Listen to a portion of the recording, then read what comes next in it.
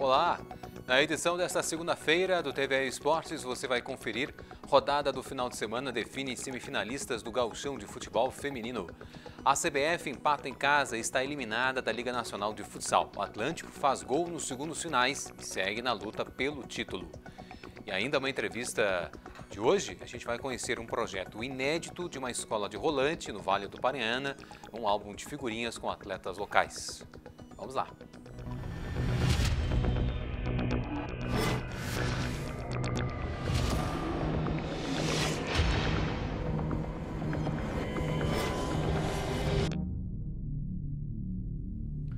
Muito bem, boa segunda-feira. Hoje vamos abrir o TVA Esportes falando de gauchão de futebol feminino.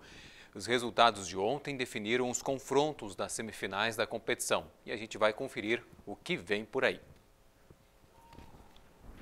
No estádio Vieirão, em Gravataí, as meninas do Grêmio golearam o Juventude por 6 a 0 e garantiram a primeira colocação no hexagonal da segunda fase do gauchão feminino. As tricolores marcaram dois gols no primeiro tempo e outros quatro após o intervalo. No mata-mata das semifinais, já no próximo domingo, o time de Patrícia Guzmão vai encarar o quarto classificado, Elite, no estádio Bertoldo Christemann, em Ijuí. Já as Esmeraldas do Juventude, até ontem invictas no campeonato, vão duelar com o Internacional. A partida de ida também acontece no dia 23 de outubro em Caxias do Sul, em local ainda por definir. As coloradas acabaram o hexagonal na segunda posição. Na última rodada, as alvirrubras aplicaram 14 a 0 nas meninas do Oriente. Já o Elite assegurou presença na semifinal ao bater em casa o Flamengo de São Pedro por 2 a 1. O álbum de figurinhas da Copa do Mundo inspirou um projeto de uma escola enrolante no Vale do Paranhana. A iniciativa inédita é colecionar figurinhas com a foto dos atletas locais. E, para falarmos mais sobre essa ação, vamos conversar com Eduardo Pandolfo Gaib, da Escola Esportiva Rolante Esportes. Bom dia, Eduardo. Muito obrigado pela gentileza de nos atender. Eu quero que, primeiramente, tu fale sobre a iniciativa, explica um pouquinho melhor o que é essa iniciativa e como é que nasceu essa ideia. Boa tarde, é, obrigado pelo, pelo convite, é uma, uma honra fazer parte aí junto do programa. Pois então, o, o nosso projeto né, é, um, é um projeto social, ele é, ele é mantido pela Prefeitura Municipal de Rolante, junto com, com a Secretaria de Educação, né? Já são 10 anos que a gente tem esse projeto, e também temos o suporte né, com a Rolante Esportes, que é a nossa associação que a gente criou, para a gente ser uma, uma escola também é, dependente, né? Ou, desculpa, independente em relação a, ao órgão público só, né? E aí então veio a, a nossa, como a gente tem alguns pilares, né? E um deles também é o engajamento é, com a sociedade. E aí surgiu essa, essa ideia já há, há uns anos atrás, já a gente conseguiu colocar em prática esse ano, que é o que é o tão esperado álbum de figurinhas, né? E coincidentemente a gente conseguiu fazer até mesmo com a Copa do Mundo, né? Para ter um pouquinho ainda mais de, de inspiração. Né? Muito bem. Bom, são atletas locais. Uh, como, que funciona isso? As, quem compra essas figurinhas? Como é que são distribuídos esses pacotes de figurinhas? O próprio álbum? Quantos atletas participam?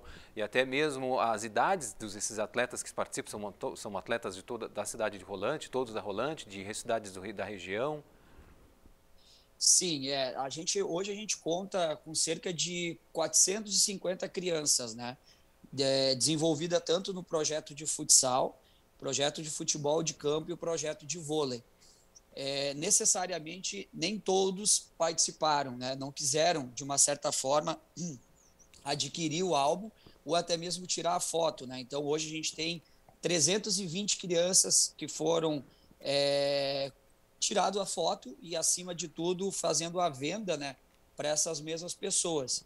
Então, dentro do projeto de futsal, do projeto de futebol de campo e o vôlei, a gente tirou a foto de crianças do, da, das categorias sub-7 até a categoria sub-20. A categoria sub-15, 17 e 20, a gente tem alguns atletas que são de cidades vizinhas, mas são uma, uma minoria, né? Mas todos é, que tiveram interesse é, em participar é, foram, foram feito convite, né? Não, não teve uma, uma obrigatoriedade.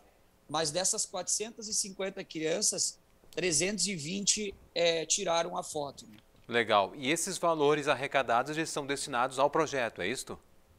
Isso, é o projeto. É, até a gente, na questão do álbum, a gente é, conseguiu fazer um, um valor de venda quase do custo é, que foi feito é, a compra, né?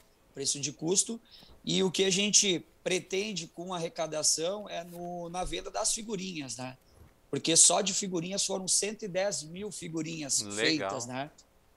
É, então a gente fez um cálculo aí de 320, né, vezes o número de, de, de álbuns, né, de figurinhas o álbum, a gente mais ou menos chegou a uma cota, né? É claro, há um número é, grande de figurinhas também repetidas, que a intenção seria o engajamento das trocas, né? Porque muitas crianças, no primeiro momento, elas se empolgaram e foram comprando, comprando, e aí acaba daqui um pouco tendo um número de figuras repetidas, né? Legal. Então a gente criou uma estratégia de que não comprassem tantas, mas pelo menos fizessem as trocas, né? Porque esse era o intuito de crianças do sub-7 conhecer os atletas da sub-20, que eles não têm muitos contatos durante a semana nos mesmos horários, né? Ou às vezes nem se conhecem. Então esse foi o intuito do álbum, é fazer com que eles tenham um registro de quem são os atletas ou os alunos que fazem parte da Rolante Esportes, uhum. desde a categoria sub-7 ao 20 e todas as modalidades, né? Muito bem. Bom, então, esses pacotes de suas figurinhas são, são vendidos e, e valores revertidos à instituição e quem uh, acaba completando o álbum também é premiado, né? Também tem esse, também tem esse trabalho de vocês aí, né? Isso, isso aí. A gente, a gente estipulou porque a gente tem Hoje a gente trabalha com três núcleos, né? Nós temos um núcleo do centro, a gente tem um núcleo do Alto Rolantinho, uh, do Alto Rolante e o junto com o Rio Branco, que fica próximo ao centro. Na verdade, seriam quatro, né? Então a gente determinou que os cinco primeiros é, aqui do bairro, do centro, né, que completasse ganhariam um brinde, que seriam uniformes de treino, um tênis ou uma chuteira, né? E da mesma forma a gente vai estar agora distribuindo nas localidades, né? Porque hoje a gente tem uma localidade que é 10 quilômetros aqui do centro. Então, para eles também virem, às vezes, é, até o centro para comprar os envelopes é um pouco mais é, de acesso difícil, né? Então a gente também está levando durante os treinos, mas eles têm uma premiação e os cinco primeiros eles recebem, né? Muito bem, legal aí essa iniciativa, esse álbum de figurinhas que coleciona figurinhas aí com atletas locais de rolante, que está fazendo sucesso, é inédito e também está fazendo sucesso em cidades em outras, em outras cidades também está uh, fazendo esse sucesso. O pessoal tá, também está gostando dessa ideia e que está levando em outros municípios aqui do Rio Grande do Sul. Olha, eu quero agradecer muito ao Eduardo Pandolfo Gaip, da Escola Esportiva Rolante Esportes. Muito obrigado pela gentileza e parabéns aí pela ideia. Um grande abraço. Obrigado, obrigado pelo convite. Valeu. Bom, na última sexta-feira foi lançado em Porto Alegre um livro que conta a história de sete jogadoras pioneiras no futebol brasileiro. Hoje, falaremos sobre a participação das brasileiras na Copa do Mundo de 1991. Amanhã será a vez dos Jogos Olímpicos. Acompanhe na reportagem da Dalva Bavaresco, que conversou com ex-jogadoras e uma das autoras do livro. Em que futebol não era considerado coisa de mulher, elas encararam o preconceito. Quando nós fazíamos os jogos, nós éramos chamada, né, de mulher-homem na época, que a mulher tinha que ficar na frente do fogão. O preconceito ele já vinha já da, de casa, né? Minha família não, já não deixava eu jogar futebol. Diziam várias coisas, que a mulher não podia jogar bola, a mulher tinha que ficar em casa fazendo comida. O esporte chegou a ser proibido para as mulheres no Brasil. Em 1941 tem um decreto que proíbe que as federações e confederações consigam organizar eventos. Então a modalidade foi, digamos assim, impedida para elas por 40 anos. Esse decreto cai para o TR em 79 e só em 1983 que o futebol de mulheres é regulamentado. Algumas foram presas por jogar futebol, isso a gente não conhece. Mesmo assim, algumas guerreiras resistiram e fizeram história escrevendo os primeiros capítulos do futebol feminino brasileiro. Agora, elas contam essa experiência no livro Futebol em Mulheres Sete Histórias Pioneiras.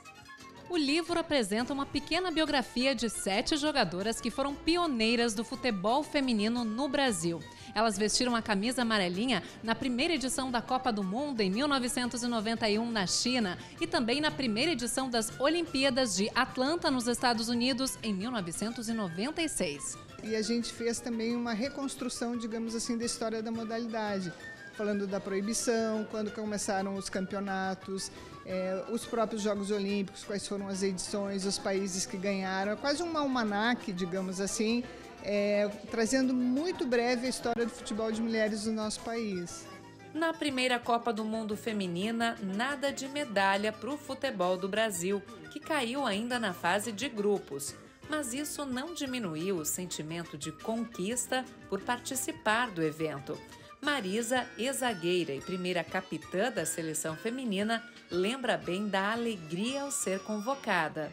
Quando eu fui convocada, é, minha família então em si soltou fogos quando chegou em casa, entendeu? Porque com tanta dificuldade que passamos, a gente superar tudo e chegar a uma seleção brasileira uma vitória muito grande.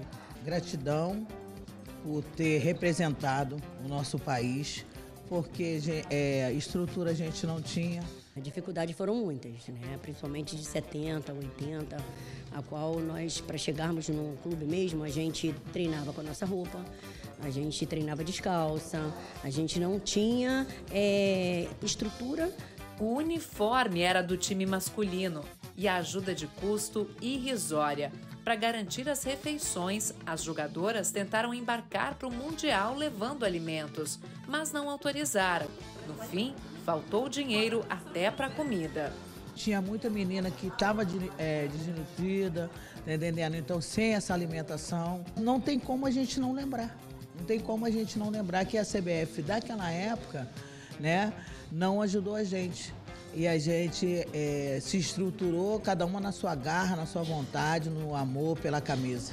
Para mim, o futebol representa uma vitória, uma conquista. Eu cheguei a uma seleção brasileira, representei o meu país e tenho orgulho disso. Na matéria de amanhã, a gente conta como foi a participação da seleção brasileira feminina nas primeiras Olimpíadas e como aos poucos as jogadoras vêm conquistando mais reconhecimento e oportunidades no mundo do futebol.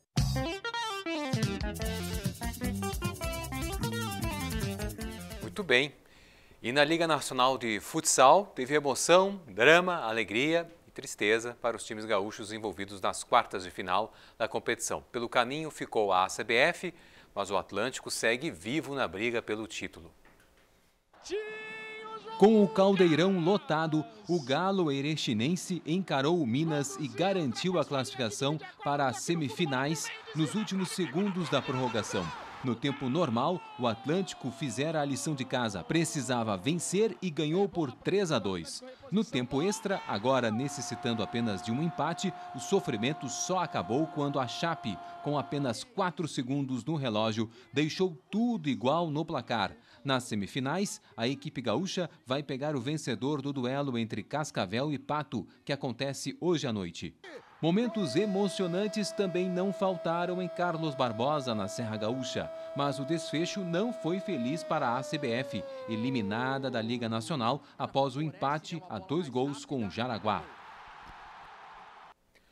No último sábado, Porto Alegre recebeu com festa os medalhistas de ouro Mayra Aguiar, tricampeã do mundo, e bronze Daniel Carnim, destaques do Brasil no Mundial de Judô no Azerbaijão.